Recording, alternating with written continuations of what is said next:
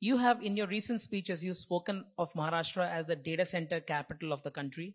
You've also spoken uh, of it as the fintech capital of the of the country. Could it also be the AI capital of our country?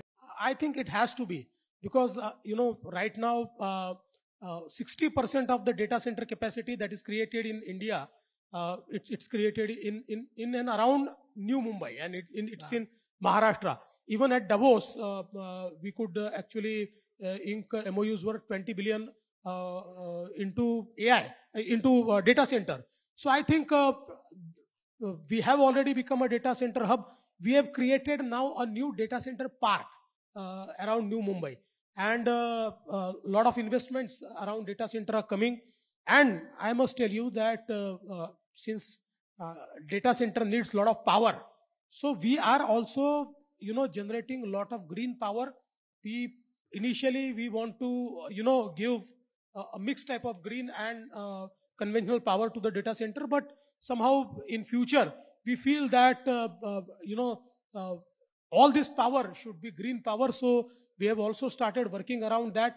I must tell you that uh, uh, uh, today we have uh, power generation capacity of 45,000 gigawatt, uh, 45 gigawatt, 40,000 um, megawatt.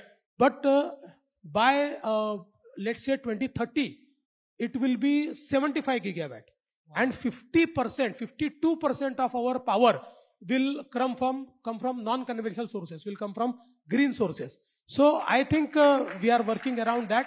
And having said that, I think, uh, of course, we want to lead this uh, uh, AI revolution, and uh, we have, as I have told you, uh, the committee which is working around making a, a new AI policy.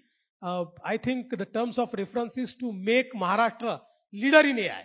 So uh, we are focusing on that, and I think uh, now we can see that a lot of investment into GCC is also coming uh, to the state of Maharashtra.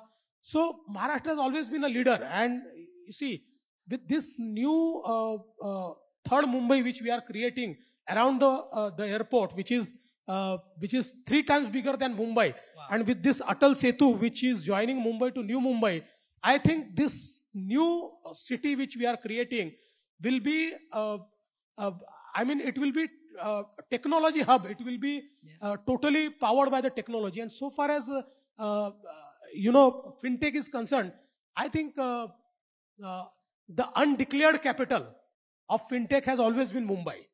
Uh, Yes. I mean, uh, everybody knows that. And uh, even in the future, I think uh, uh, fintech will be uh, uh, will be present here. I must tell you that now uh, we have become the uh, real capital of startups. Yes. So, uh, in the recent Startup India report, uh, one could see that uh, uh, uh, I think around uh, 28,000 startups are here. So, in absolute number and in absolute investment, we are number one. And uh, out of those startups, I think uh, around 35% of the startups are in the space of fintech.